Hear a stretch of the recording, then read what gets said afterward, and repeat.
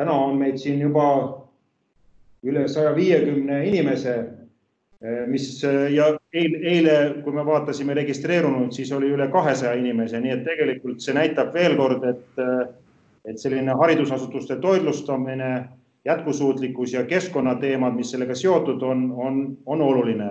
Ja ma loodan, et see ei ole ainult see niinimetatud koroonakriisi sündroom, kus me kõik istume kodudes ja on mõnus siis arvuti kaudu webinari kuulata.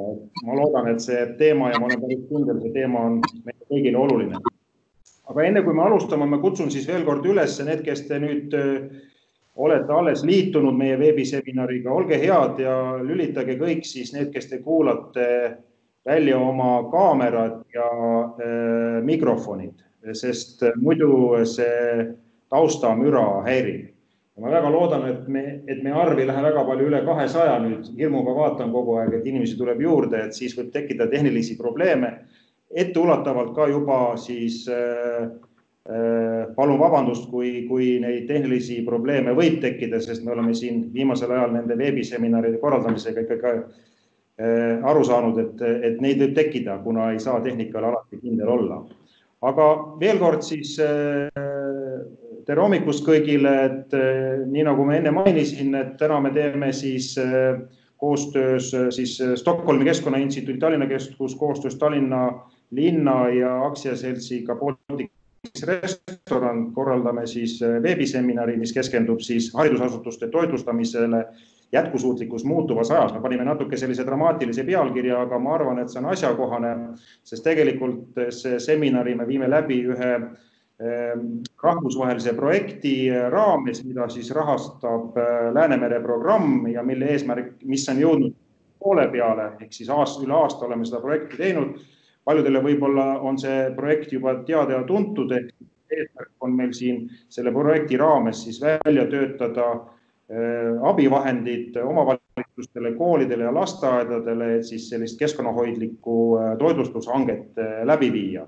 Ja selle päeva lõpuks ma siis natukene annan ka lisainformatsiooni, lisainformatsiooni sellest projektist, aga võib-olla siis me tuleme korraks selle päevakava juurde ja siin ma ennem kui ma päevakavasse hüppan, tegelikult võib-olla kasutaks head juhust ja annaks sõna Tallinna abilinnapeale Vadim Belobrovtsevile, kes teeb väikese sissejuhatuse tänasesse päevasse. Vadim, kas oled, oled sa kuuldel? olen, tervist. no võta siis sõnajärg üle. aitäh, et äh, tere hommikust äh, kõigile, head osalejad see huvitav vorm nagu, mis on tingitud siis tekkinud viirusekriisist, on, on küll viinud oma korrektiivid meie ellu ja samas peab ütlema, et see virtuaalmaailm nagu omab väga huvitavaid Äh, selliseid omadusi, et äh, näiteks äh, see taust, mida te näete minu selja taga, nagu see, nagu võib-olla paljud teavad, nagu see ei ole reaalne, nagu et tegelikult see on üks selline šabloon nagu, mida saab siis lihtsalt valida. nii et see igati mugav, kui näiteks tuba on koristamata, nagu siis ikkagi saab, saab inimestega suhelda.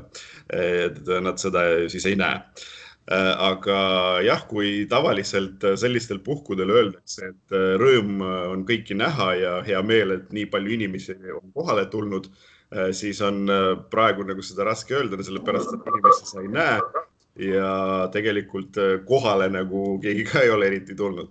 aga samas loomulikult mul on ikkagi hea meel tervitada kõik siin viibijad selles virtuaalmaailmas Äh, kes on kogunenud nii huvitavat ja olulist teemat arutama. ja muide, kui me räägime nendest korrektiividest, siis äh, see kriisiolukord on teinud vähemalt äh, veel ühe asja kindlasti mugavamaks, et palju lihtsam on Äh, võtta osa erinevatest üritustest ja seminaridest, äh, nagu see näiteks meil täna, jäädes sealjuures oma kodulinna või isegi jäädes koju. Äh, et ma pean ausalt ütlema, et mina olengi praegu kodus. et niimoodi on kindlasti lihtsam kutsuda koosolekutele ja konverentsidele näiteks inimesi erinevatest Eesti nurkadest ja keegi ei pea kulutama tunde transpordi peale ja ma natuke isegi kardan seda, et meile kõigile hakkab see meeldima ja pärast on hästi raske uuesti kohaneda harjumuspärase töörütmiga sest mulle isiklikult meeldib ikkagi inimestega näost näkku kohtuda ja suhelda, kuigi see virtuaalmaailm on kahtlemata mugav. aga asja juurde, et äh, Tallinna abilinnapeana mul on kindlasti hea meel ja äh, mis seal varjata ka uhke tunne, et Tallinn paistab silma Eesti omavalitsuste seas sellega, et äh, meil on toitlustamine põhimõtteliselt kogu õppeprotsessi vältel tasuta, alustades siis lasteaiast ja lõpetades gümnaasiumiastmega. ja kui tavaliselt äh, Äh, rääkides kaubast või teenusest, äh, tuuakse välja eelkõige kahte faktorit, äh, milleks on siis hind ja kvaliteet, siis meie puhul on alust rääkida põhimõtteliselt ainult sellest teisest faktorist, mis loomulikult ei ole küll sugugi vähem tähtis kui hind ja siinkohal ma arvan, et me jõuamegi tänase ürituse võtmeteemani, et päeva lõpus meie kõigi eesmärk on teha niimoodi, et lastele pakutav toit nii lasteaias kui koolis oleks kvaliteetne, oleks mitmekesine, maitsev, tervislik ja nii edasi. Ja see on omamoodi väljakutse, et seda kõike saavutada ka mõistliku hinna eest ja tegelikult enne, kui ma abilinnapea ametisse astusin, pole ma kunagi mõelnud selle peale, et näiteks kooli toitlustamishange võib olla nii kõva pähkel, et sa mõtled, et mida siin keerulist on, et kuulutad konkursi välja, vaatad, kes pakub korralikku toitu kõige madalama hinna eest. lihtne. aga paraku pole, pole toitlustamine mõni objekti ehitamine näiteks, siin on neid nüansse hästi palju, alustades sellest, kes hanke korraldab, lõpetades sellesama mitmekesisusega, mida ma juba eelnevalt mainisin Äh, sest soe toit lasteaias ja eriti koolis on ikkagi märkimisväärse tähendusega. Äh, me kõik teame, et on piisavalt palju lapsi, äh, kelle jaoks seesamune soe lõuna on ainsaks soojaks toiduks päevas. me tihti räägime sellest, me palju kuuleme sellest ja ikka tahaks, et see oleks kvaliteetne ja mitmekesine toit ja ma loodan, et äh, tänasel üritusel äh, otsitakse ja ka leitakse vastused küsimustele, äh, kuidas on kõige õigemini needsamad toitlustushanked korraldada.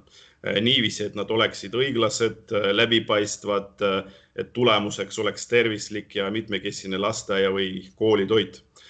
Ma võin Tallinna näitel teile ausalt öelda, et see pole sugugi lihtne et konkurents toitlustusfirmade vahel ja nende esindajad, kes kindlasti siin täna on, võivad seda kinnitada, on hästi tihe. Seega tuleb konkurentidest millegagi eristuda ja välja paista ja on olnud juhtumeid, kui kasutades hanketingimusi, siis seal, kus mitmekesisus oli üheks võtmefaktoriks, pakkusid toitlustajad omalt poolt siis näiteks sadu erinevaid roogasid, et Äh, see lõhnas küll äh, natuke absurdse järgi, aga kuna ei olnud hanke nõuetega vastuolus, siis mul näiteks toitlustajatele mitte midagi ette heita ei ole, nad äh, lihtsalt järgisid neid tingimusi ja üritasid siis olla konkurentidest parem. see kõik tähendab, et miks ma üldse nagu seda näidet tõin, et hange peab olema ikka väga hästi koostatud, et mitte minna absurdiks. ja ma loodan veel, et tänasel üritusel räägitakse ka sellest, kumb variant oleks parem, mis variant omab rohkem plusse, kas hange peab läbi viima asutus ise, lasteaed, kool või peaks see pigem toimuma tsentraliseeritult, näiteks läbi ameti. On piisavalt palju argumente nii ühe kui ka teise variandi kasuks. tähtsat rolli mängivad sellised sõnad ikkagi nagu läbipaistvus, pädevus Äh, kogemus ja loomulikult vastutus, et vastutus eelkõige. Äh, kui äh, see toit, mis siis pakutakse pärast lasteaias või koolis, ei vasta inimeste ootusele, ootustele, nagu siis loomulikult noh, tekib probleem. Ja siis on esimene küsimus, kes vastutab. Et nagu ikka, nagu te mäletate, kaks igavest küsimust, et mida teha ja kes on süüdi ja päeva lõpus äh, ei taha ma, äh, ei taha lasteaiad ja koolid äh, mitte midagi enneolematut ja üleloomulikku, et laps tahab kasvõi minimaalselt, aga, aga valikut, tahab, et toit oleks maitsev ja meie lastevanemad lisaks tahame, et see toit oleks ka tervislik. võib-olla lapsed ei, ei mõtle selle peale nii palju kui meie, aga õnneks meie viimastel aastatel oleme ka väga palju tähelepanu pööranud just sellele faktorile võimalusel tahaks põimida toitlustusse ka keskkonna ja jätkusuutlikkuse põhimõtteid. sellest ma arvan, täna räägitakse väga palju Äh, miks mitte pakkuda lastele rohkem mahetoitu? Tallinnas oleme seda ka proovinud, et äh, ma loodan, et sellest ka tuleb täna juttu. Äh, ja päeva lõpus pürgib Tallinn jätkuvalt Euroopa rohelise pealinna tiitli poole, nii et see kõik, ma arvan, on, on meie jaoks väga oluline.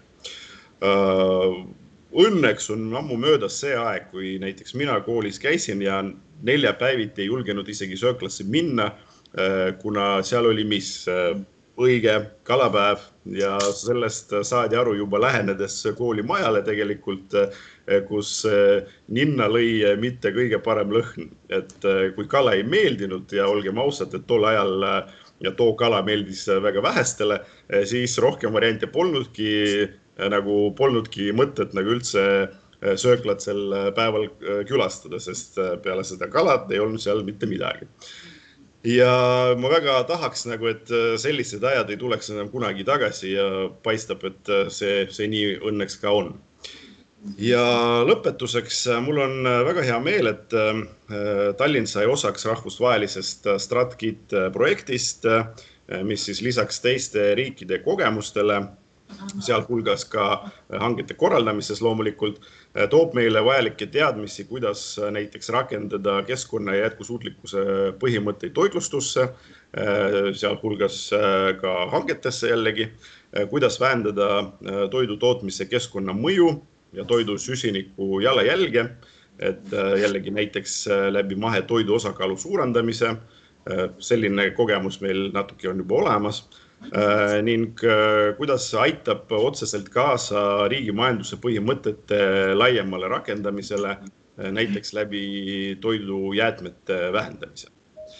oluline on, et kõik omavalitsused püstitaksid asjakohased eesmärgid ja käsitleksid neid teemasid oma arengusuundades ja kavades ja meie loodame, et saame siin olla ka selliseks eeskujuks aga loomulikult ka Tallinn on äh, väga huvitatud äh, teiste äh, omavalitsuste kogemustest, nii et hea meelega kuulan seda, mida on rääkida siis meie näiteks naabritel ja natuke kaugematel omavalitsustel. nii et ma arvan, et meie ühine eesmärk ja soov on ikkagi pakkuda kõige paremat toitu siis meie lastele, see on, ma arvan, sada protsenti niimoodi nii et äh, ma soovin teile kõigile siis konstruktiivset ja huvitavat äh, mõttevahetust täna. loodan, et päeva lõpus meil tekib palju materjali, äh, mida saab siis edaspidi meie toitlustamisvaldkonnas kasutada, sest see tõesti on oluline ja loomulikult ma loodan, et see seminar, konverents, webinar, kuidas seda nimetada, on pärast järele vaadatav, et või järele kuulatav, sest kui midagi näiteks äh, jääb vahele, nagu siis pärast saab alati uuesti kuulata, uuesti vaadata. see on tegelikult veel üks äh, selle virtuaalmaailma plussidest. nii et suur tänu ja tervist kõigile, see on praegu väga aktuaalne. aitäh. Suur tänu, Vadim, väga hea ja sisuka sissejuhatuse eest päeva. tegelikult need kõik need teemad meil tulevad ühte või teistpidi arutelule ma siis äh, võtaks ja paneks ette veel kord äh, meie päevakava, aga enne kui ma nüüd äh, päevakava tutvustama hakkan, siis ma kutsun üles veel need, kes te olete nüüd liitunud meie webinariga, et olge head kõik, kes te kuulate, lülitage välja oma mikrofonid ja kaamerad, et ei tekiks seda olukorda, et selline taustamüra segaks ettekandjaid.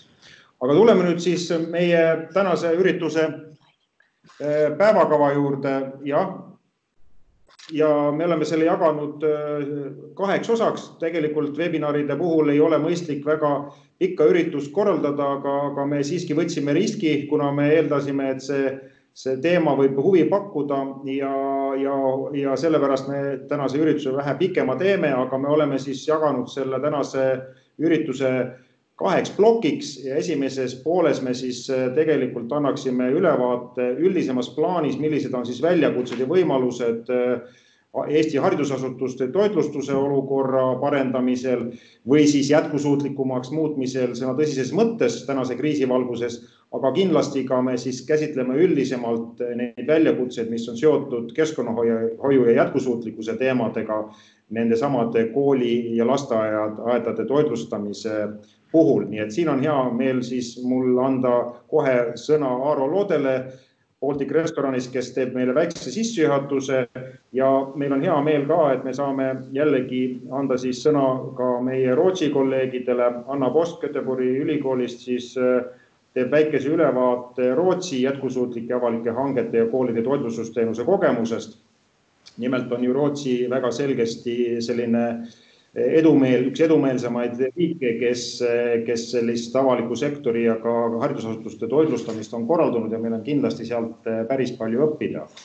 Ja teine päevapool on meil siis me, mõeldud rohkem nagu näidetena erinevatest omavalitsustest, aga ka üldisemalt, et me saaksime juba neid teemasid, mis on nüüd ka meie StratKiti projekti raames üles koorunud ehk need teemad, mis siis haridusasutuste toitlustusel viimasel ajal rohkem kõlapinda on saanud.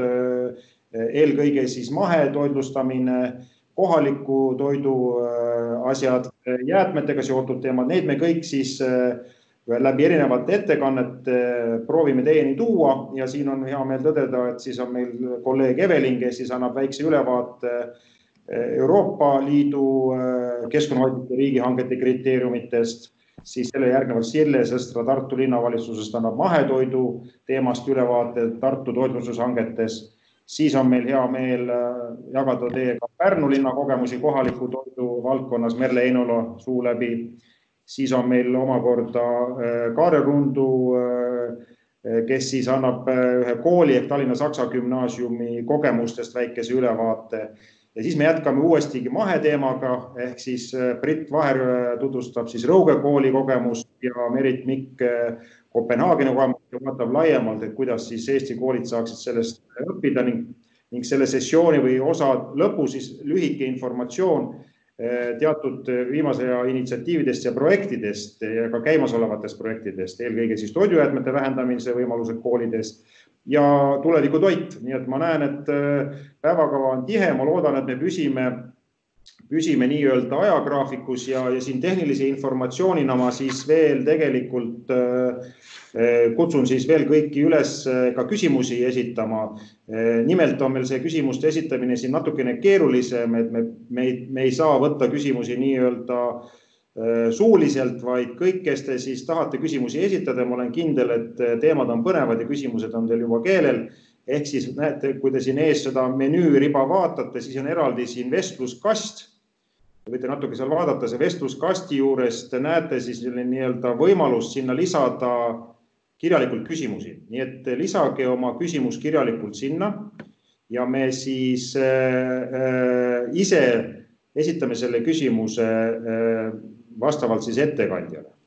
nii et see on nagu siis selline tehniline, tehniline pool, loodetavasti see toimib. kui nüüd kõikidele küsimustele ei saa vastuseid anda, siis me kirjutame need vastused hiljem sinnasamasse vestluskasti, nii et, nii et sellisel juhul kindlasti saate oma vastuse sealt kätte. ja me muidugi ka siis salvestame seda üritust ja, ja see on jah, see hea võimalus siis selliseid üritusi ka hiljem järgi vaadata ja informatsioonina veel nii palju, et päeva lõpus loodetavasti jääb meil aega ka väikseks aruteluks. et ka sinna siis me oleme eespool olevad kõnelejad kõik kutsunud, teeme väikse arutelu ja ka seal on võimalik siis veel lisaküsimusi esitada. aga ma paneksin oma poolt praegu suu kinni, sellepärast et aeg jookseb, nagu ma ütlesin, päevakava on tihe ja ma annaksin siis järje kohe üle äh, Aaro sulle, et sa saaksid teha ülevaate siis äh, tänasest olukorrast äh, koolide haridusasutuste toitlustamises, mis on need põhilised väljakutsed ja, ja millele peaks tähelepanu pöörama? ole hea, oled sa kuulda? ja aitäh, Harri. Äh, ja aitäh ka Vadimile, väga-väga hästi võttis selle turuolukorra kokku Tallinnas kui ka Eestis üldisemalt, et ma tean, et peale mind räägib veel Anna Post, keda ma kindlasti soovitan kuulata, et olles teda eelnevalt kuulanud, siis ta räägib väga põnevat juttu. Aga minul on ka slaidid lisaks, et proovin teile jagada neid.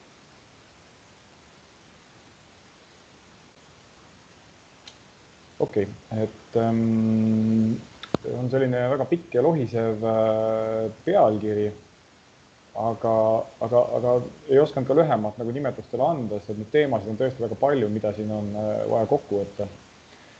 ja, ja kui nüüd äh, pihta hakata, siis äh, loomulikult kõigepealt väike ülevaade meie ettevõttest üldse, ehk siis oleme Eestis suurim toitlustusteenust pakkuv ettevõte meie suurus võib-olla tuleb sellest välja, et kui võtame nüüd piirkonniti, siis ütleme, et siin Tartu piirkonnas või Tallinna piirkonnas me ei ole kõige suuremad, aga meie suurus tuleb välja just selles, et meil on kõige suurem üle-eestiline katvus võrreldes meie heade ja tublide konkurentidega. Aga ma olen viimasel nädalal või isegi kuul väga palju kuulnud seda küsimust, et noh, et milline siis seis meil üldiselt on. ja nagu õige vastus on, et ega, ega ei olegi mingit seisu selles suhtes, et eh, valitsuse korraldusega suleti koolid ja, ja peale seda ei ole ka rohkem meil mingit seisu olnud, et suleti ka praamid ja, ja lennujaamad, kuigi praamid täna hommikul nüüd jälle avati ja hakkavad vaikselt liikuma siin saarte vahel, siis ega, ega seis on keeruline. Ja olukorras, kus ootamatult tõmmatakse vaip jalge alt ära, ehk siis käive kukub üheksakümmend üheksa protsenti, ega siin selleks olukorraks ei olnud valmis mitte ükski ettevõte Eestis aga kui natukene nagu rääkida sellest haridusasutusest üldisemalt või toitlustustest, mis, mis, mida meie teeme, siis eh, on vaja rääkida ka sellest, et eh, haridusasutused on natuke nagu turismiettevõtted, kui turismiettevõtted tegutsevad siin hooajalisel suvel, siis meie tegutseme kooliaasta lõikes. ja, ja sealt tekib ka see tsüklilisuse sisse, et, et eh, me me oleme väga tsükliline tegevus, ehk siis kui kooliaasta saab läbi, siis saab läbi ka meie tegevus ja, ja selleks, et äh, suvine hooaeg üle elada, siis tavaliselt valmistutakse selleks kevade poole. nüüd äh, tublidel ettevõtetel olid selleks hetkeks muidugi suured reservid, aga ei saa eeldada, et kõikidel väikestel ettevõtetel ka need reservid olemas olid. ehk siis peab eeldama seda, et, et on ettevõtted, kellel on äh, majandusraskus täna juba päris suur ja see võib veel järjest süveneda. aga noh, nagu siin ka kirjas on, siis ega koolide sulgemisega igasugune majandustegevus lõppes meie jaoks ja, ja puudus ka vajadus tööjõu järgi. meie partnerid, kes siis olid varunud toorainet, arvestades meie menüüsid ja asja, nii, nii mitte ainult edasimüüjad kui ka tootjad, nendel tekkisid niisugused natuke paanikahood, et neil oli vaja kuhugile see tooraine ära realiseerida ilmselt märkasite ka ise siin, et sellist ettevõtet, ma ei tea, et kes muidu üldiselt tegelevad restoranide restoranidele puu- ja juurviljade müümisega järsku hakkas ikka eraisikutele koju tooma, siis loomulikult äh, mõjutas see väga palju ka kohalikke omavalitsusi, kelle tulubaas väga suuresti sõltub äh, eraisikute äh, tulumaksust. ja, ja kui toimus maksude ajatamine, siis langes ka kohalike omavalitsuste tulubaas. ehk siis ei olnud ka nemad sellest säästetud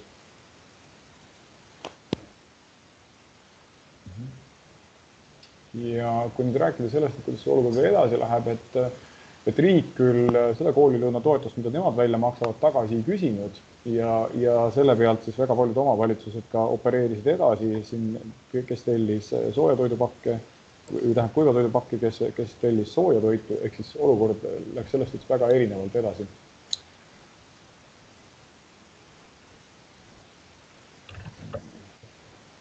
Aga samas tasuks nüüd täna nagu mõelda ka selle peale, et, et väga palju Äh, noh, mitte väga paljudel, aga osadel ettevõtetel ka siin majanduskasvu ajal juba olid olemas äh, majandusraskused ehk siis maksude tasumine oli juba, juba heal ajal keeruline. tänases olukorras, kus nagu ma enne mainisin, reserve ei õnnestunud koguda, maksud olid juba eelnevalt ajatatud, et tasuks küsida, et kas selline ettevõte sügiseni ka vastu peab. et äh, see ei ole tegelikult keeruline teha üks kõne või üks kiri oma partnerile, uurida, milline on tema olukord, kas, kas ta sügiseks, millised plaanid on teinud, milliseid reserve ta on kogunud. et, et vältida näiteks siin on konkreetne näide, mis toimus kaks tuhat seitseteist aastal Viimsis, kui tegelikult juba jaanuarikuus oli teada, et nende partner ei vea sügiseni välja siis tegelikult äh, alustati ikkagi sügisel sama partneriga uuesti toitlustamist ja septembrikuus siis ettevõte ikkagi teatas, et, et nemad ei ole suutelised oma majandustegevust jätkama ja toimub pankrot. ehk siis tekkis selline eba, ebamugav olukord, kus omavalitsusel oli vaja kiiresti läbi viia uus hange. ja kuna sama ettevõte toitlustas ka üksikuid Tallinna haridusasutusi, siis tekkis, oli tunda seda mõju ka siin Tallinna linnas, kellel oli kiiresti vaja otsida ja nii edasi. Aga, aga loo moraal on selles, et tegelikult see, see info, et see ettevõte ei pea sügiseni vastu, oli juba teada jaanuarikuus ehk siis omavalitsustel oleks olnud võimalik juba ammu tegeleda selle probleemiga ja uurida oma partneri käest, et mis on tema mõtted. et oma juttu natuke konkreetsemaks muuta, siis ma toon siia ühe näite. et äh, üks toitlustusettevõte, kes Tallinnas tegutseb või ütleme, ei tegutse Tallinnas, ta tegutseb Eestis, siis kui vaadata näiteks tema kaks tuhat üheksateist aasta neljanda kvartali käivet, siis te ise näete, et sinna kirjutab null eurot. samas on tal väga mitu kehtivat toitlustuslepingut ehk siis tekib küsimus, et kuidas selline ettevõte saab üldse eksisteerida kui vaadata tema tööjõumaksude tasumist, siis need üheksakümmend üheksa eurot inimese kohta, mis tekitab vägagi suuri küsimusi, et äh, milliste palkade eest need inimesed seal tööl käivad. ja kui nüüd vaadata esimest kvartalit, siis on jälle käive tagasi tulnud, aga nüüd peale seda esimest kvartalit siis toimus meil isegi majanduskriis, ehk tegelikult ei ole selge, milline on tema olukord tänaseks ja, ja see on avalikult kättesaadav info, ehk siis igal omavalitsusel tegelikult on võimalik kontrollida oma partnerite tausta, et uurida, et mis, mismoodi nad eksisteerivad, mismoodi nad tegutsevad ja milline on nende majandusseis hetkel äh,. ma tõin siia sisse ka sellise asja nagu uus normaalsus, sellepärast et me peame ka arvestama sellega, et äh, juhul, kui äh, koolid otsustavad jätkata sellist praktikat, nagu nüüd praegust on toimunud, et äh, väga palju sellist distantsõpet e, e-õpet ja, ja noh, kui ta on küll lastevanemate jaoks väga koormav, aga ta on koormav sellepärast, et ta on nii suures mahus, kui seda teha väiksemas mahus, siis võib-olla ta ei olegi kõige halvem õpe ja ma tean ka täna juba koole, kes rakendavad näiteks reedeti e-õpet. aga samas on toitlustajatel ja haridusasutustel ikkagi leping sõlmitud ja lepingu eel on toimunud hange kus nii haridusasutus on välja lubanud mingid kogused lapsi, mingid numbrid lapsi ja, ja toitlustaja on sellega arvestanud. kui nüüd peaks toimuma selline nihe, et ikkagi näiteks reedeks jäetakse kõik lapsed koju või võtame ka selle, et lasteaiad lubavad tavaliselt välja kohalkäimise protsendi, mis on küll alati selline protsent eelduslik, aga ikkagi väga suur kõikumine sellest annaks juba alust nagu rääkida ka sellest, et lepingu läbirääkimise hetkel või hanke väljakuulutamise hetkel tingimused on oluliselt muutunud võrreldes tänase turuolukorraga, mis annaks alust juba siin väga pikkadeks juriidilisteks vaidlusteks, aga tõenäoliselt selleni asi ei jõua. aga tasuks siiski mõelda juba täna haridusasutustel ja omavalitsustel, et kui sellised olukorrad juhtuvad, et mismoodi siis eh, oma toitlustuspartneriga kokku lepitakse. sellepärast, et ega toitlustuspartnerid ikkagi palkavad inimesed, arvestades neid laste arve, mis neile on välja lubatud, nad varuvad toorainet vastavalt sellele ja nad äh, teevad ka investeeringuid seadmetesse, arvestades neid mahte, mida neil on äh, võimalik teenida. kui need mahud, noh, võtame siin näiteks praegu selle, mis toimus siin äh, märts-aprill ja, ja ka jätkub veel maikuus, kui need väga järsult kukuvad, siis me teame ju, et ei ole vaja enam tööjõudu, ei ole vaja toorainet ja kaob ka usaldus teha investeeringuid. ehk siis tegelikult kogu see jätkusuutlikkuse tegevus kaob ka vaikselt nagu pildilt ära ja, ja selles mõttes oleks hea, kui, kui juba lepingu sõlmimise hetkel mõeldaks läbi need moodused, et kui näiteks viiakse kõik lapsed reedeti e-õppepäevale, et milline on see moodus, mida siis haridusasutus või omavalitsus toitlustajale kompensatsiooniks välja pakub. lasteaiad jäävad siiski tühjaks, et lapsed, lasteaiades ei ole ju täna tegelikult ametlikult kordagi suletud, aga lihtsalt lapsi ei käi koha peal. et kui me siin räägime kahesaja lapsega lasteaiast, kus kohal käib kuus last siis ilmselt ei pea olema eriline majandusteadlane, et aru saada, et selline opereerimise moodus ei tooda operaatorile kasumit. ja et kuidas siis oleks võimalik seda tegevust ümber korraldada nii, et ei kannataks oluliselt see toidu kvaliteet, mida minu eelrääkija siin väga rõhutas, aga samas, et, et ei toimuks ka massilist ettevõtete pankrotistumist, sellepärast et meil on kohustus oma töötajaid kohal hoida, kuigi sööjaid ei ole me toitlustame ka väga paljudes ülikoolides ja me näeme, see on juba isegi eelnevalt enne seda kriisi juba selline trend, kus tegelikult lubatakse hankelepingutes välja väga suured tudengite arvud, aga reaalne õppetöö toimub väga paljuski distantsõppel või tudengid käivad üks kord nädalas kohapeal noh, kas siis töid tegemas või aru andmas, kuidas neil vahepeal läinud on. ehk siis samamoodi on toimunud selline nihe, kus kus lepinguline suhe on, on hakanud muutuma selliseks küsitavaks, et te lubasite sellised arvud, aga tegelikult koha peal on, on teistsugused numbrid. me nägime selles suhtes, kui kriis puhkes, siis me nägime seda, et tegelikult meil täna puudus ühtne, ühtne käitumisviis kõik omavalitsused hakkasid äh, probleemi lahendama erinevalt, nad hakkasid seda lahendama oma nagu parimate võimaluste ja, ja teadmiste baasil. ja oli ka näha seda, et äh, väga paljud väiksemad omavalitsused olid huvitatud sellest, et äh, töötuse arv nende omavalitsuses ei kasvaks, nad olid valmis erinevateks palgakompensatsioonideks juba hetkel, kui riik ja Töötukassa alles kaalusid, millised meetmed välja tuua suuremad omavalitsused lootsid rohkem riigi peale, mis on ka arusaadav selles suhtes, et igasugused palgakompensatsioonid nende puhul oleks nende eelarve jaoks olnud äh, väga koormavad, noh, kui mitte öelda, et isegi võimatud. aga nii või teisiti selles suhtes ka me täna teame, et võib juhtuda olukordasid, kus sellised isolatsiooni ähm, tingimused võivad mingil põhjusel tagasi tulla, ehk siis tasuks juba täna ka omavalitsustes omavahel rääkida ja kokku leppida, et millised võiksid need käitumismudelid olla või kui ei õnnestu omavalitsustes omavahel kokku leppida, siis vähemalt äh, kirja panna äh, tänase parima teadmise põhjal, milline oli see parim praktika, mis toimis, mis ei toiminud. et äh, ka isegi tänases olukorras ju, kui siin tuua näiteks, et Tallinna alustas soojatoiduga liikus sujuvalt üle toidupakkidele, sest et tundus, et soojatoidu mm, laialivedu ja sellele järgi käimine oli äh, koormav, lastevanemad ei tahtnud sellele väga tulla, samas toidupakid on osutunud väga menukaks.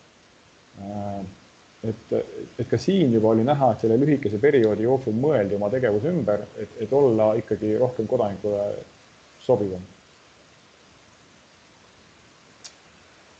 siis äh, natukene ka sellest muutunud hügieenist, et, ähm, et meie jaoks on, äh, kui toitlustajate jaoks on hügieenireeglid alati olnud väga karmid.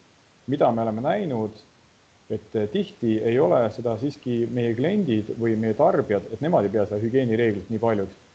et ähm, ütleme, et ei ole ju tavaline praktika enne seda kriisi, et inimesed sisenesid toitlustusasutusse ja küsisid, et kus on teie käte desinfitseerimise punkt täna tundub see selline täiesti normaalne tegevus ja, ja keegi ei pea seda imelikuks. me näeme inimesi, kes jalutavad poodides kinnastega, kellel on maskid ees, aga enne seda kriisi ei pidanud keegi seda vajalikuks. ja kui meie reeglid on alati karmid olnud, siis me näeme, et tegelikult need reeglid muutuvad karmimaks nüüd ka ja tarbijate jaoks ja mitte sellepärast, et need muutuksid seaduseks, vaid lihtsalt tarbijad ise ja kliendid ise muudavad äh, oma käitumist ja seoses sellega muudavad ka neid reegleid ehk siis me näeme, et kui nüüd rääkida kitsalt äh, koolidest ja haridusasutustest üldisemalt, siis tõenäoliselt tekib, äh, tekivad need küsimused, et kas kätepesu desinfitseerimise võimalused on alati olemas. me teame koole, kus äh, kraanikauss ei asu üldse sööklaruumides, asub kusagil mujal, ehk siis peale kätepesu sa pead veel ukse avama ja kõndima mingitest ruumidest läbi meil äh, on ka kohti, kus me teame, et puuduvad äh, tihti käte kuivatamiseks head vahendid ja siin tekib ka küsimus selles, et kas see peaks olema käterätik, mida laps ise kodus kaasa võtab, kas see on õhuga toimiv kätekuivatusmasin või on see hoopis äh, taaskasutatud paberist kätekuivatuspaber. ja, ja ka nüüd see kaks pluss kaks reegel, mida väga palju räägitakse. kas söögikohas on võimalik täna tagada see piisav inimeste vahe, isegi kui sügiseks see olukord leevendub ja need kaks pluss kaks reeglid tõenäoliselt kaovad ära, siis ilmselt on ikkagi uus reaalsus see, et enam väga ei kiputa üksteise seljas olema ja, ja niimoodi järjekorras seal toitu jagama. kui äh, meie jaoks ise, isegi täna me saame kirju lastevanematelt enne kriisi juba, kus meile heidetakse ette, et söögivahetunnid on liiga lühikesed ja, ja laps ei jõua süüa, siis siin peab ikkagi toitlustaja, toitlustaja ütlema, et see küsimus tuleb suunata haridusasutustele ja, ja kui me räägime ka sellest, et et need vahetunnid peaksid muutuma paindlikumaks, siis seda ei saa mitte toitlustaja teha, vaid seda saab teha ikkagi ainult haridusameti juht või siis kohalik omavalitsus. Nendest reeglitest, mis nüüd siis toitlustaja tulevad, ega nüüd toitlustajate jaoks ei ole reeglid karmimaks muutunud. Meie oleme ise nüüd ettevõttena selle otsuse vastu võtnud, et me teeme mingeid asju rohkem, kui, kui meilt oodatakse peale mind äh, räägib Anne Post natukene Rootsi praktikast ja toob ka välja selle natuke teadlikuma lähenemise sellele, et, et kuidas siis viirus levib. aga üldlevinud teadmine on see, et, et ta levib ikkagi siiski tõste riistade ja pindade kaupa, mitte sooja toidu kaudu. ehk siis me oleme võtnud eesmärgiks järjest sagedamini ja tihedamini välja vahetada tõsteriistasi. enne seda me jätame üles erinevad desinfitseerimispunktid, nagu nad täna juba üleval on. ja, ja me üritame siis ka neid pindasid sagedamini puhastada, aga selleks, et me seda kõike teha saaksime, peab olema tagatud see, et lapsed või siis kliendid, kuidas me nimetame, tuleksid piisava, piisava vahega, et meil oleks võimalik seal vahel neid tõsteriistasi vahetada ka suuremates koolides, kus täna juba on söögivahetunnid väga pikad, ütleme nelikümmend viis minutit või kolmkümmend minutit, on väga tihti probleemiks see, et kõik lapsed tulevad korraga sööma ja esimene ja siis jääb selline mulje, justkui toit lõpeb otsa. probleem on hoopis selles, et kõik tulevad korraga sööma ja see toit, mis on valmis valmistatud, seda ei jõuta lihtsalt välja panna, sest et järjekorrad on tihedad, niisuguseid auke sinna vahele ei teki. et täna tuleks ka seda mõelda, et kuidas siiski reguleerida seda. ja ka koolides, kus on näiteks kokku lepitud, et alguses tulevad väiksemad lapsed ja siis tulevad suuremad lapsed siis praktikas me ikkagi näeme seda, et tulevad väiksemad lapsed ja nende vahel seisavad ka gümnasistid, kes rahulikult endale toitu tõstavad. ehk siis see surve ka haridusasutustele, et te peate nagu seda sööklasse sisenemist ja seda söömise asja reguleerima rohkem, äh, tekib kindlasti sügisel. Ähm, nendest hügieenireeglitest ja kõikidest edasi tulles tuleks ikkagi selle mahetooraine juurde, et kui enne kriisi oli see teema väga aktiivselt üleval siis praegust tundub, et natukene on ta nagu varjusurma jäänud. samas hanked lähevad endiselt edasi, sügisel toitlustamine jätkub ja, ja miks mitte ikkagi rääkida sellest mahetoorainest ja kui nüüd vaadata majandusolukorda, ma küll ütlen ausalt, ma ei ole põllumees, ehk siis põllumehed võivad siin mulle vastu vaielda, aga minule tundub, et kõik sisendid põllumeeste jaoks on siiski täna muutunud odavamaks. kütuse hind on langenud, äh, langetati erinevaid aktsiise selle jaoks. Tööotsijad turul on palju, küsimus on selles, kas nad tulevad põllule või mitte, see on eraldi küsimus, aga võib-olla siin peaks ikka põllumehed vaatama ümber seda, kuidas nad, kuidas nende töö organiseeritud. samas nõudlus jaeketi pealt äh, värske kohaliku tooraine järgi on suur, kuna eksootiliste importkaupade sissevedu on, on täna ikkagi raskendatud, piiride avamisega kindlasti see olukord jälle muutub, aga nii või teisiti on mingid raskused üleval ehk siis tundub, et tegelikult võiks olla ideaalne olukord põllumeestel natukene ka oma tegevust ümber vaadata ja, ja suuna, suurendada ka seda mahetooraine mm, kasutamist. hilisemas vestluses ja, ja selles mm, diskussioonipaneelis kindlasti tuuakse see mahetooraine sisse ja hiljem peale mind räägib Merit Mikk, kes siis võib nagu täpsemalt rääkida, kuidas äh, mahetooraine olukord hetkel turul on. aga ikkagi tekitada seda, seda nõudlus ja vajadussuhet turul. ehk siis, kui mahetooraine nõudlus on hankesse sisse kirjutatud, siis peab olema ka pakkumine, et meil kui toitlustajatel oleks kusagilt seda mahetooraine kokku osta, et meil oleks võimalik seda nõudlust ka täita. on arusaadav, et äh, riik tänases olukorras ja ka muidu ei soovi kellelegi otse maksta mingeid rahasid, aga analoogselt nagu PRIA süsteemile, kui sa ostad ja kui sa tarbid, siis kompenseeritakse see, võiks olla ka mahetooraine kasutamise puhul. et äh, kui me ostame seda, siis võib riik maksta meile kompensatsiooni või ka põllumehele, kui põllumees seda mahetoorainet kasvatab ja müüb, võiks ta, võiks ka sinna seda kompensatsiooni maksta. ehk siis neid mõtteid võiks olla ja ta ei pea ju ilmtingimata olema riigi tasandil kokku lepitud, seda võiks ka kohalik omavalitsus teha. Äh, Võru linn, kes hetkel viib hanget just läbi, on endale mahetooraine nõude küll sisse pannud. meie küsimus on selles, et äh, kas on ka kohalikud põllumehed, kes on seda mahetoorainet valmis kasvatama nüüd äh, natuke rääkida ka sellest keskkonnasäästlikkusest ja, ja nagu rohehankest, nagu ma seda nimetan. et ähm, on arusaadav, et toitlustushanke esmane eesmärk on tagada lastele parima hinnaga parim toit. nii ka, ka nagu minu eelkõneleja rääkis, kuid siiski on ju päris palju neid äh, kriteeriumeid, mis sellele võiksid järgneda. Kui me oleme täitnud selle esmase kriteeriumi ehk siis me parima, taga, tagame parima hinnaga parima toidu siis võiksid ju järgneda ka teised eesmärgid, mis on omavalitsus või linn või riik endale nagu seadnud. et äh, kui linn näiteks on endale eesmärgiks võtnud, et äh, olla, saada, saada rohelinna märk või staatus, siis tegelikult võiks seda kajastada ka ju toitlustushangetes, et see ei pea olema ainult, ma ei oska öelda, kas bussihangetes või trammihangetes, et see võib ka toitlustuses olla. See võiks anda lisapunkte, et see ju ei ole kohustus pakkuda, aga samas ta annab mulle lisapunkte. samas, kui me selle hanke võidame ja oleme eelnevalt välja pakkunud juba need, need rohetegevused, siis see annab meile ka sellise või nüüd kohustab meid ka neid tegevusi tegema. kui rääkida nendest kriteeriumitest, siis järgmisel slaidil ma natuke täpsemalt neid selgitan, aga need kriteeriumid on sellised, mis, mis oleksid võime, oleksid võimekad ka väiksemad ettevõtted täitma. et nad ei ole sellised, et selleks, et neid asju teha, sa peaksid olema väga suur ja, ja rikas ettevõte, vaid need on niisugused lihtsad väiksed liigutused, milleks on võimeline iga, iga ettevõte. aga kui puudub sotsiaalne surve või kui puudub kohustus, siis väga tihti neid asju lihtsalt ignoreeritakse et mõned näited, mida me enda maja sees sisse pani, siia kokku kirjutasime, et mis võiksid olla need rohehanke kriteeriumid või vähemalt, eh, mida ettevõtted saaksid välja pakkuda nii, et need ei oleks neile majanduslikult koormavad, eriti vaadates tänast olukorda, pakendivaba puhvet, tegelikult ettevõte isegi säästaks selle pealt raha, ta jätab pakendid ostmata, ta ei pea selle pealt tasuma pakendiaktsiisi. kui serveerimisel kasutab plastiknõusi, joogikõrsi, korduvkasutatud nõud on pestavad, nad on ühekordne kulu, energiasäästlikumad seadmed, noh, ma olen nõus, et siin tekib see küsimus, et kas meil on võimekus investeerida aga siiski võiks üle vaadata, et kas meie seadmed, mis töötavad, on nad energiasäästlikud või, või kulutavad nad väga palju energiat, võib-olla oleks meil ikkagi mõistlik teha see investeering kallimasse või uude külmkappi, mis aastaga toob meile sama raha tagasi, hoides kokku elektrit.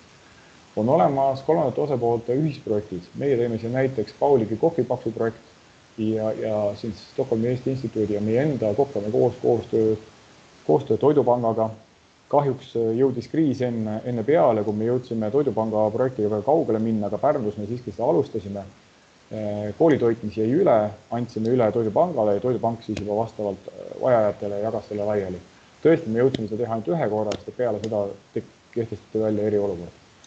aga toidujäätmete vähendamise kava, koostöö Toidupangaga jällegi, et ähm, siit tulebki see välja, et me ei pea koolitoitu mitte prügikasti otsa viskama vaid meil on võimalik see välja jagada. me viisime läbi ka SEI-ga toidujäätmete kaalumise, kust me tegelikult äh, statistiliselt saime aru, et siis iseteenindusliiniga tekib toidujäätmeid vähem võrreldes sellega, kus toit tõstetakse taldrikule. ehk siis seal on ka kokkuhoiukoht. Äh, prügi käitlemine, sorteerimine, jah, meil on olemas äh, mingid nõuded, mida nõuab meie käest Veterinaaramet aga samas on meil alati võimalik midagi ekstra teha, meil on võimalik seda prügi rohkem sorteerida, kui seda nõuab meie käest reegel, kui me selle iseendale hankes välja lubame. või kui omavalitsused tekitavad ise kohalikud komposterid, kuhu on võimalik siis biojäätmeid kokku viia, tekitada sealt siis juba kompostmulda või nii edasi. loodussõbraliku keemia kasutamine ei ole keeruline küsida oma keemiapartneri käest, et eh, kas sul on olemas ka keemia, mis oleks loodussõbralik ja üldiselt, kuna nõudlus on päris suur selle järgi, siis ka selle loodussõbraliku keemia ja tavakeemia hinnavahe enam ei ole nii suur, et ta on äh, suhteliselt väike ja mõistliku kasutamise juures jällegi tuleme tagasi energia ja säästlikumad seadmed. tegelikult see kulu äh, rahas ei ole nii suur, et seda peaks nagu eraldi välja märkima. taastoodetud paberi kasutamine, noh, see tundub juba selline asi, et, äh, et seda vist kasutavad kõik aga noh, siiski jälle niisugune lihtne asi, mida tasuks mõelda, see taastoodud paberit võime kasutada kätepaberina, võime kasutada kontoris ja üldse, et kas meil on vaja kõiki asju välja trükkida, et võib-olla siiski paberivaba dokumendihalduse kasutamine oleks nagu mõistlik. meie oma ettevõttes oleme proovinud näiteks kõik töölepingud juba digitaliseerida, see on pikk ja keerukas protsess, aga, aga aitab kokku hoida raha. ja kõikide nende teemade kokkuvõtteks siiski, siis ka terviklik vaade nagu hankele et äh, ma olen seda ka eelnevatel seminaridel rääkinud, et, et tasuks ka nagu mõelda seda, et kui hange kuulutatakse välja, et millised on need mõjurid. et äh, kui näiteks siin Vadim enne mind tõi välja just sellesama selle salatite kurioosumi, kus tegelikult, kui täpne olla, siis Tallinnas üks ettevõte pakkus välja üheksasada kakskümmend seitse salatit. aga on ka arusaadav, et äh, kui me suurendame seda valikut, ja me nõuame, et kogu see valik oleks kogu päeva jooksul saadaval, siis päeva lõpuks tekib sellest väga suur hulk biojäätmeid, millega ei ole järgmisel päeval mitte midagi peale hakata.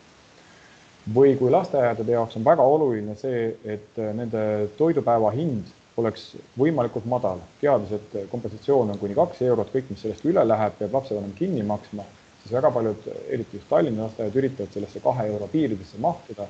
aga samas, kui nad kirjutavad sisse nõude, et toitlustusoperaator peab rühmades toitu serveerima, siis see automaatselt tõstab seda toidupäeva hinda. ehk siis tasuks mõelda, et kas see ikkagi on see koht, kus nüüd äh, võiks nagu järeleandmisi teha või kindlasti peab selline teenus olema lasteaias tagatud. mahe või kohaliku tooraine nõue võib tekitada olukorra, kus, äh, kus on ainult üks tootja turul ja saab sellega noh, kogemata kätte monopoli meil oli selle aasta talvel oli olukord, kus äh, mahekartuli koorijatest äh, üks äh, kaotas oma tegevusloa ja järgi jäi ainult üks koorija ehk siis arvake ära, mis juhtus hindadega, hinnad tõusid. ja loomulikult ka need viimase minuti hanked, kui väga tihti venitatakse hangete korraldamisega viimase hetkeni lootuses, et noh, et küll jõuab. tegelikult ikkagi peaks ka arvestama seda, et hanke enda protsess väga aeganõudev hanke hindamise protsess on väga aeganõudev ja kui peaksid tulema vaidlustused, siis vaidlustuste puhul peaks arvestama ikkagi kahekuulise ajaga.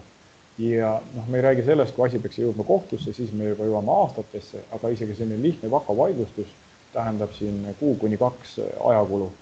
ehk siis, kui teil on vaja esimesel septembril uut toitlustajat, siis tasuks oma hankega pihta hakata juba jaanuarikuus, et siis on kõigil ka normaalne aeg reageerimiseks, kaasa arvatud nii võitjal kui ka kaotajal, toitlustajal, nii haridusasutusel endal. ja mida me näeme väga tihti, on see, et ei kooskõlastata teenust äh, tarbijaga äh, hankedokumente ehk siis just äh, haridusasutuste puhul on selline, et kus on kas siis keskne või omavalitsuse tasandil tehakse hange, siis kui hange on läbi viidud ja toitlustamine pihta hakkab, siis tegelikult haridusasutused tulevad selliste imelike küsimustega, et miks on nii, aga miks ei ole nii, nagu enne oli ja tulebki välja, et äh, omavalitsus on kokku kirjutanud uue hanke, kooskõlastamata seda siis haridusasutusega ja sealt tekivad sellised pahameeled, et ja, ja hiljem on vaja siis muuta neid äh, hanke, hankes juba kokku lepitud tingimusi. ehk siis tegelikult tervikvaade sellele hankele tähendab seda, et hanke korraldamisel ei peaks vaatama ainult äh, odavamat hinda, vaid võiks vaadata ka nagu muid tegureid, ehk siis tooraine kvaliteet omavalitsuse suuremad eesmärgid, ettevõtte jätkusuutlikkust, äh, maksude tasumist kohaliku omavalitsuse tulubaasi. nagu ma juba eelpool mainisin, selles suhtes, et äh, kohalikud omavalitsused sõltuvad väga paljuski sellest äh, eraisiku tulumaksust. kui ettevõte jätab maksud maksmata, see tähendab seda, et omavalitsus on talle maksnud välja toitlustusraha, kuid omaenda tulubaasi on ta sisse planeerinud samast, samast ettevõttest tuleva eraisiku tulumaksu, mida ta tegelikult tagasi ei saa. ehk siis sellest odava hinna hankest tegelikult nad maksid sellele tegevusele päris palju peale. ja loomulikult ka see partneri võimekus areneda ja muutustega kaasa tuua, tulla selles suhtes, et me kõik näeme, et see maailm on muutumas ja, ja hiljem räägib Kadi Kriit ka sellest, et sellest tuleviku koolitoidu projektist, aga jällegi nagu Vadim eelnevalt välja tõi, siis see konkurents on tihe selleks, et olla konkurentidest ees, sa pead pidevalt pingutama, sa pead pidevalt kaasa mõtlema, sa pead uusi asju välja pakkuma.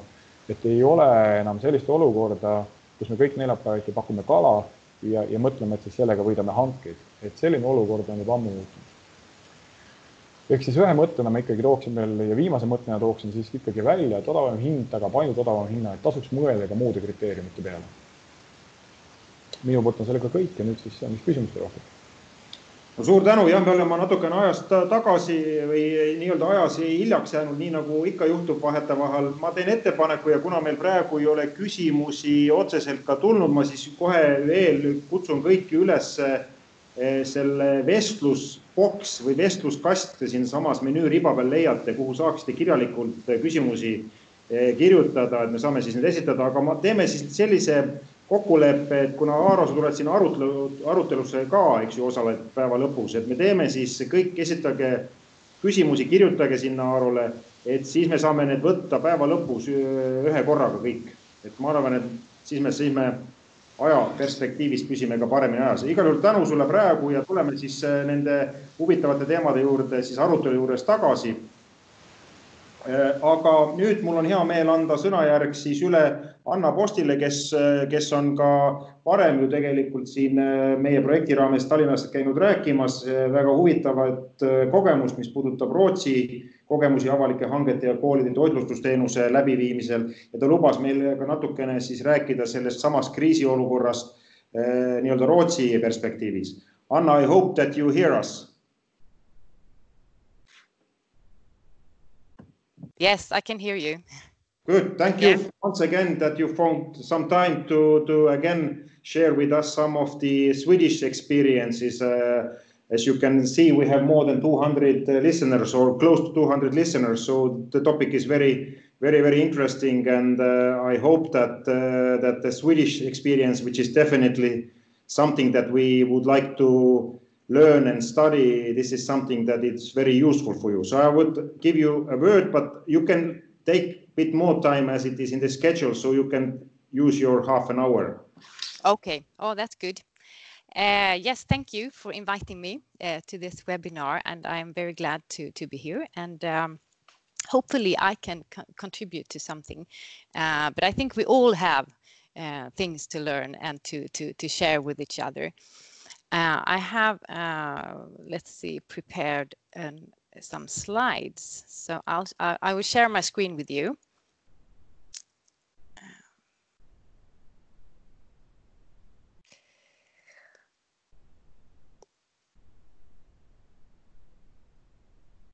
let's see.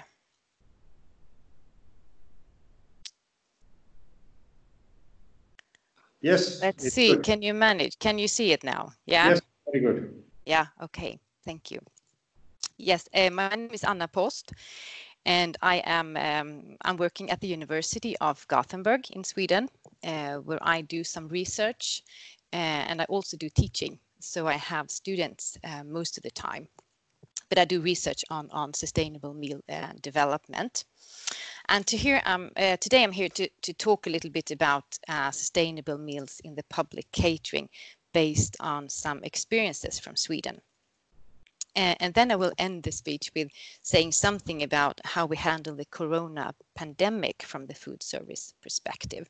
And we haven't been able to do any uh, any thoroughly uh, investigation what happens in each kitchens, but we have some dire uh, directives that I can show you so so far. Uh, and I planned uh, to talk for about 30 minutes. And if you have questions, we can take them uh, on the last slide. And I've also um, written my email address on the last slide if, if some of you want to, to contact me uh, after this uh, presentation or in any case, so you're welcome to do that.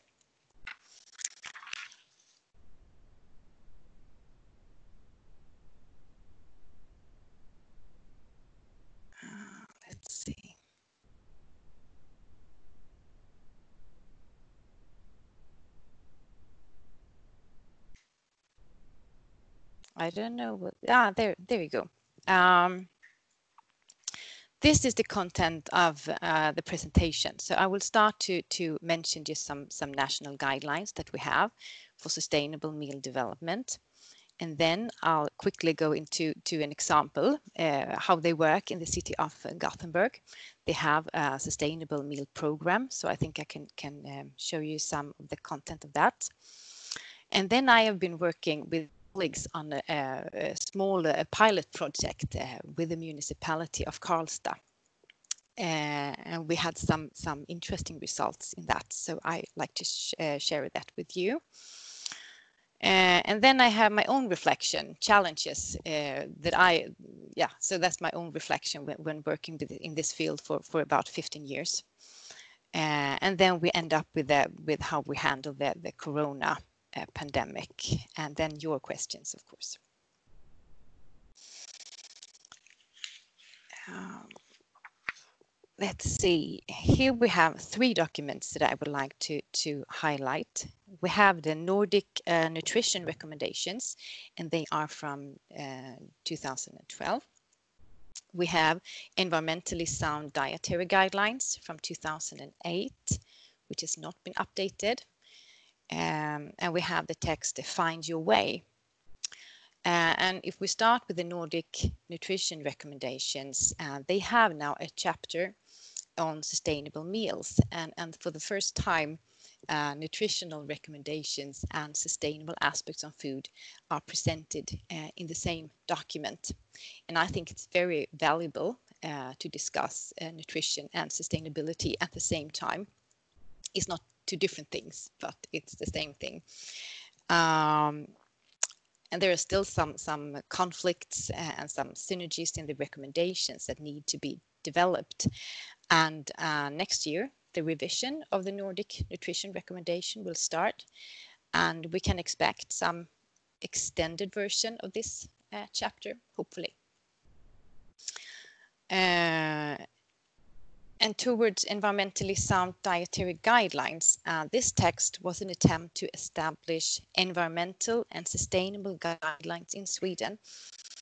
Um, but unfortunately, the document was considered by the European Union to be a threat to the free trade. So it was never accepted uh, as an official document or an official guideline. Uh, but the work was done and the report is published uh, and you can see the English version there and there's a Swedish version also. Uh, and it's a 250 pages text, so it's quite uh, massive. Um, and it compares different foods and also explains the variation in environmental impact on different foods. So um, I use it with my students in teaching also for new uh, food service managers, uh, and I think it's very valuable.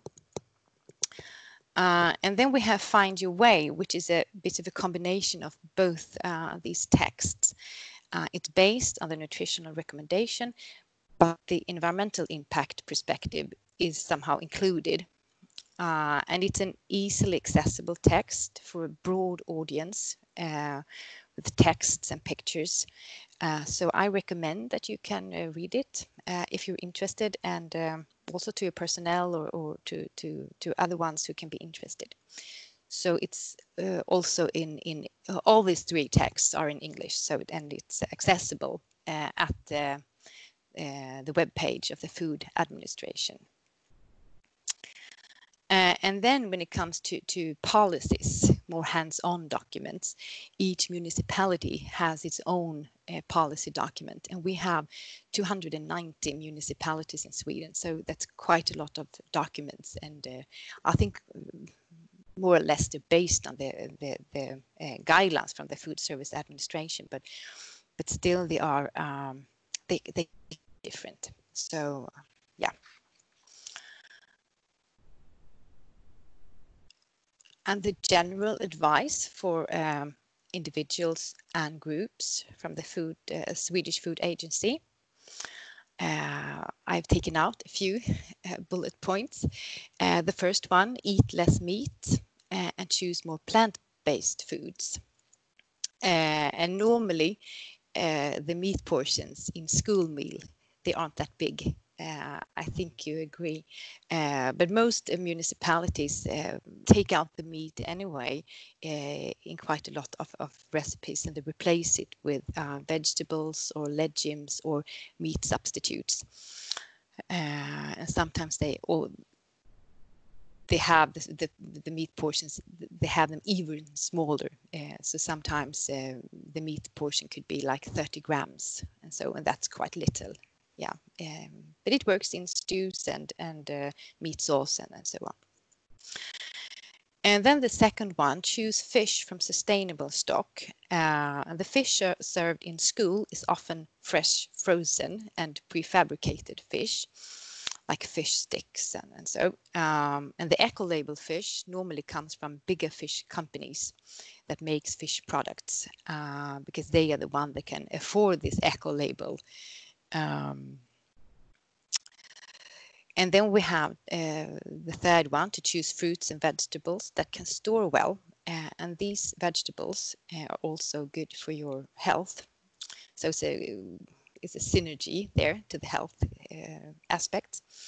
Uh, so it, it's mainly tubers, onions, cabbages, uh, apples, pears, and things that that we we can store. Uh, and then uh, to minimize the food waste. And uh, food waste is a really complex matter as it's produced in many steps of the production line. And you need to work to limit the food waste in, in many different ways. Uh, and it starts already uh, when you do your menu planning. Mm. Uh, so a food waste program is developed for the food service, public food service, and it's used. And it's based on the program that was once um, developed um, by the city of Gothenburg, and it has now be, uh, become the national program, uh, so to speak. But I'll come back to that. Uh, and this, then the final two is to store food properly.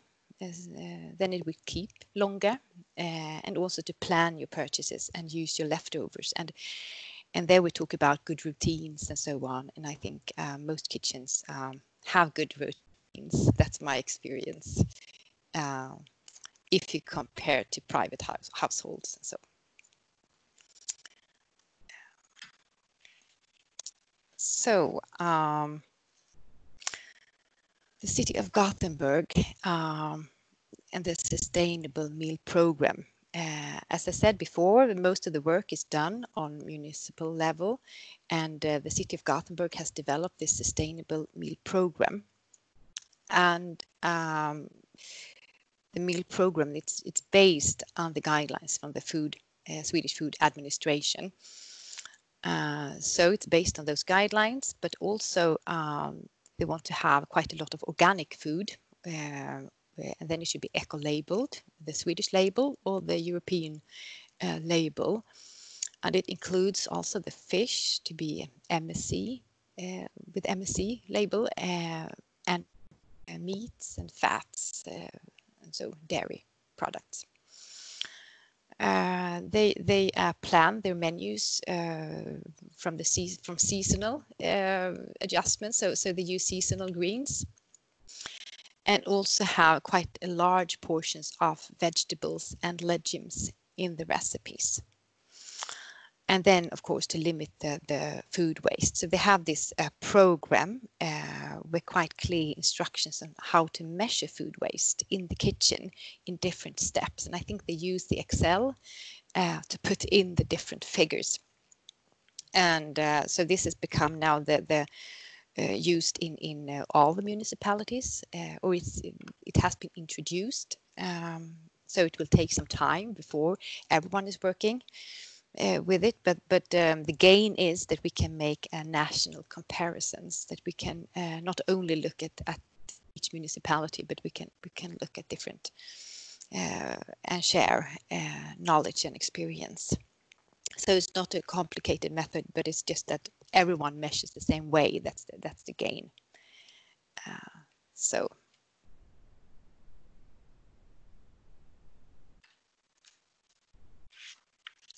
and uh, the meal program is uh, connected to political goals then um, in the city of Gothenburg and they have adopted a quite uh, sustainable image. Um, it's a sustainable city and it shows uh, in this meal program um, and the, po uh, the po politicians they want us to increase the number of sustainable meals uh, on the previous slide there uh, to have more of those and also to have one vegetarian day a week when no meat is served.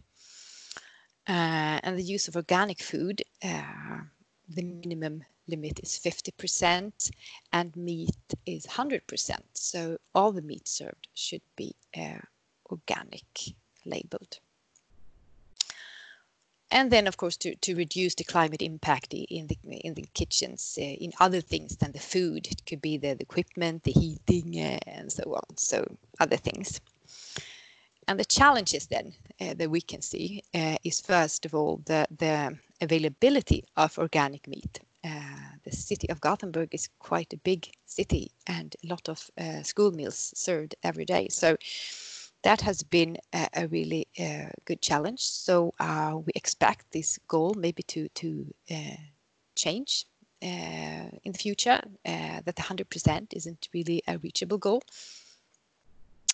Uh, and the other challenge is the acceptance among children and parents.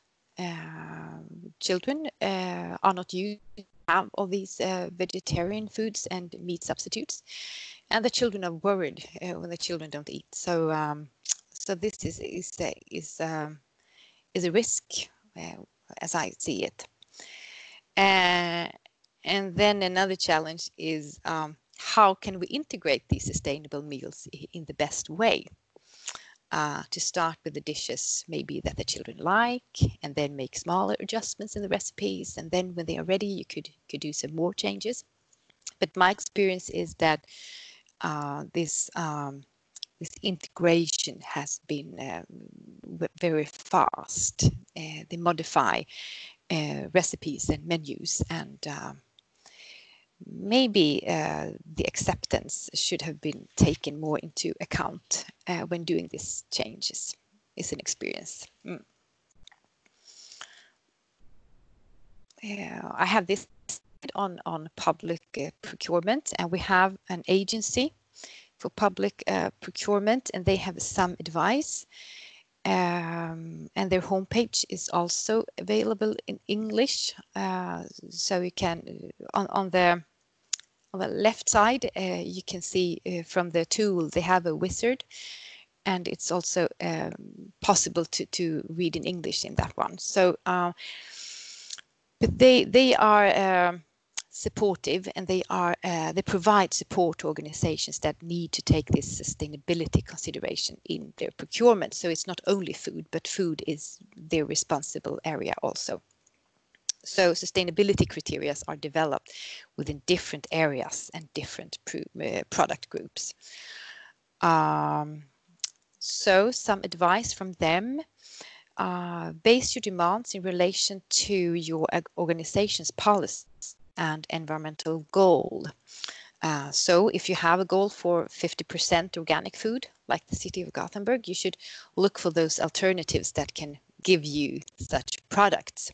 Um, and the other advice is um, because one of the major concerns, yeah, is that um, and, and, and also give rise to a lot of question is how can I include more local companies? Uh, do we have to use these bigger companies? And uh, what they say is that you can divide your procurement instead of having a one supplier for all the items, and you can ask uh, and, and, not ask for this complete assortment, uh, and then. Um, you can favor the smaller smaller ones. Uh, you could have all foods from one company, but your dairy products from someone local, and so so they can give um, advice on that.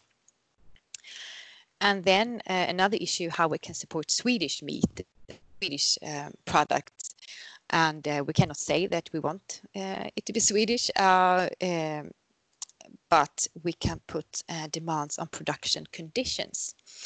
So examples, you can have, um, you could, you could say that the cows, the, the, the meat, the beef uh, should not have been given concentrated feed, for example, like soy, if you don't want that. And then you see what kind of products are then available if they are not allowed to have had uh, soy. Then you might just have the Swedish organic left. So uh, and you can also place demands on, on uh, reduced use of chemicals or uh, reduced use of antibiotics in the production. And uh, yeah, we have this tool, this wizard that can help. Um, uh, and it's based on different food groups. Uh, you can have basic or advanced criteria. So first here you, you have chosen the product area, which is food, and then the product group that is meat, then the subgroup that is beef, pork, lamb, or, or other uh, alternatives. Uh, and then you, you add more and more and more criteria, and then you're done. Uh, but they also advise you that you have to be informed about the market access, what products are out there. Uh, because if you put too high demands, it might be unreachable and you might end up with no products at all in the end. Um, okay, when it comes to this pilot project in, in Karlstad, uh, we developed a recipe that was uh, well known and well liked among the pupils. It was a pasta bolognese, it's a spaghetti and uh, meat sauce. Uh, and what we did, we did, uh, uh, we did um, new versions of this uh, recipe. We, we uh, calculated 14 different alternatives and um, uh, and it was a it would and the, the 14 alternatives they were based on a combination of different types of meats different types of vegetables and different types of meat substitutes and, and it was a meat substitutes that was already in the public procurement so we didn't want to use any other foods that wasn't uh, uh, that would have been impossible mm. so uh, that's what they, we did and we calculated for climate impact we calculated for energizing nutrition but also the uh, bioavailability of iron, since iron can be a challenge in vegetarian dishes. Uh, and we did interviews and we had questionnaires uh, for the children to to um, taste and then uh, make uh, markings uh, which one they like the most and the least and so. Uh, so we eight of the dishes we did cook and served in a, in a mini food fair. And then we had the interviews with the kitchen staff. And um, uh, when we did the calculation, we could see that vegetarian dishes, they had good energy content and they were low in carbon dioxide and so on. So they were good on the paper, but, but uh, it was a difficulty with the acceptance of the vegetarian meals among the students, so uh, the pupils. Um, so the winning option was, uh, except for the original uh, pasta bolognese, was if we could keep some of the beef and add lentils, red lentils, um, eh, which is just was just terrific to do that because they are cheap and they are available and and so on. And this soy, the, the soy mince that they normally used for vegetarian dishes was one of the least tasty tasty um, options. Uh, so I think we have things to learn here uh, about uh, if we want to to um, uh, use more vegetarian food and other ingredients as we need to to focus more on the the, the eaters, the guests, um, for sure. Uh, so, so the challenges uh, for me as a researcher, um, I've been working here for uh, within this uh, area for almost uh, 15 years, uh, and I would say that today we focus quite a lot on the climate change. Um, because of the climate debate. Uh, that put another pressure on us uh, to calculate for CO2 emissions on food and consumption. And there are tools for this, uh, but it is a lot of uh, extra work. Uh, organic food is still uh, important and and so on, but this CO2 calculation is, is adding work to us. Uh, and then we have the meat and veg uh, discussion and how to combine. Um, we need to reduce meat to increase the amount of vegetables. We know that. Uh, but uh, should we have smaller portions of meat in every dish or should we have vegetarian vegan days in schools and preschools? And we need to study more how this can be done. Uh, meat is our main source of iron and zinc and so on. And so there is also a risk, uh, especially for, for teenagers and young women. And also today, many young women, uh, they're also uh, quite uh, interested in the vegetarian diet and could just adopt it without knowing about the risks. We think there are too few good alternatives today on the market because at least in Sweden, we use a lot of soy-based uh, mince, and we also use corn. And the problem with corn is the below uh, uh, energy content in that product. That means you have to eat a lot more, or you need to add fats and so on, uh, more energy. Uh, so we need better alternatives. And then as a final bullet point there that the young women and adolescents are at risk of iron deficiency and that uh, we do not want to create inequalities in health uh, because of poor school meals. Uh, so instead, we would like to do the opposite. We would like the school meals to, to enable children and young people to have equal conditions uh, for good health and the same education and the same conditions for, for good education uh, and that the school meal should uh, support vulnerable groups in the population, such as school kids. For some kids, the school meal is the only uh, hot meal uh, during the day. So, so that's why we should be careful just when we work with that meal. Okay, that was it about that. now I have the um, a few two slides here with the with the corona uh, thing. As you as you might have noticed, uh, schools in Sweden have been open during uh, this whole period. because um, yeah, that's, that's decided, or or uh, not not for all children, not for all the older children, but but for children up to ninth grade until they are 15, 16. Uh, they go to school. So, and that means that the school meals are cooked and produced and distributed as as usual. Uh, and the restrictions are as such, and this is from the Food Administration, uh, that persons uh, who are ill shouldn't go to work or school. So we should be all healthy when we go and see other people. Uh, and that the kitchen's um, regular routines, uh, hygiene routines, uh, including the hand washing, uh, that is sufficient and enough. Um, you don't need to do any other changes in the kitchen. And we do know hygiene in the kitchen, so so that's good. Uh, and the coronavirus isn't spread by eating food or drinking water, but of course you shouldn't share your drinking your glass or your, your fork with others. Um, but the risk that they can see is that people, school children, when they are queuing, uh, coming into the to to the food uh, to the kitchen, uh, they can pose a risk of infection. So, so there is uh, where we need to do um, things. So um, we need our children to to eat in other rooms than the dining hall because the dining hall can be quite crowded. So use the classrooms or other spaces in school. Uh, they would uh, reschedule lunch hours to let the children eat uh, in smaller groups earlier or later in the uh, after lunch. Uh, they have these markings uh, on the floor. You can see on the page to keep the distance is is one one and a half meter between the markings. And then also the school staff, they need to make sure that there's no crowding in the queues.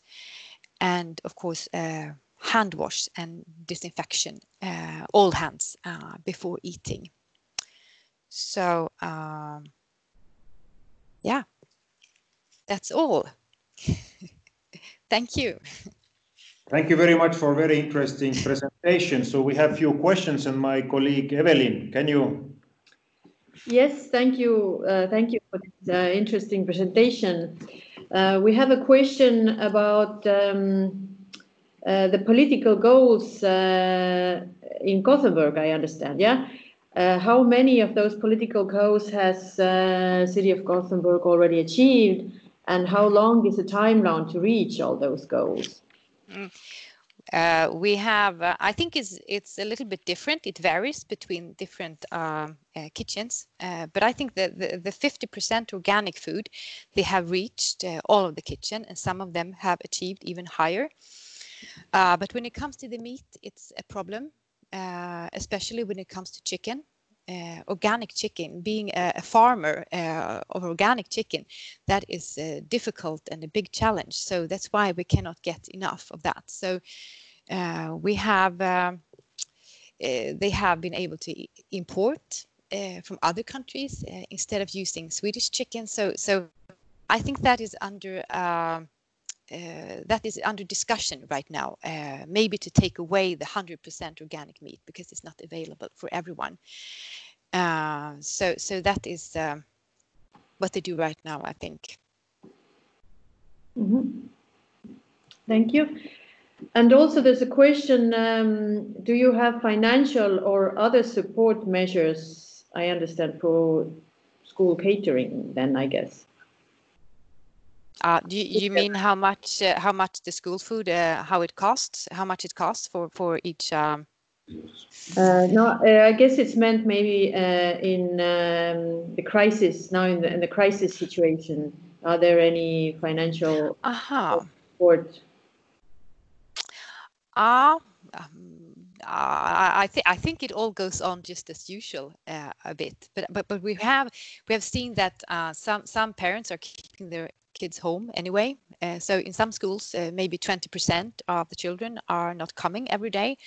So I think that um, they serve lesser food, lesser portions. Uh, they do, but I don't think they get any other, other extra funding because it's it's just as normal. They don't have to do any extra.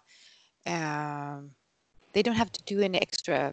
They think that the hygiene that they already do, and uh, the the precautions they already do in the kitchens, the high hygiene demands, and uh, that's enough. Mm.